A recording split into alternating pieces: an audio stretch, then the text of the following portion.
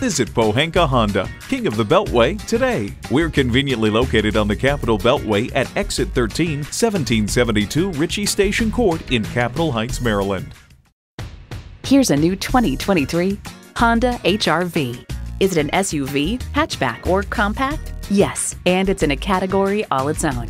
A great vehicle is comprised of great features like these inline four cylinder engine, front heated bucket seats, streaming audio, configurable instrument gauges, manual tilting steering column, doors and push button start proximity key, external memory control, aluminum wheels, wireless phone connectivity, and LED low and high beam headlights.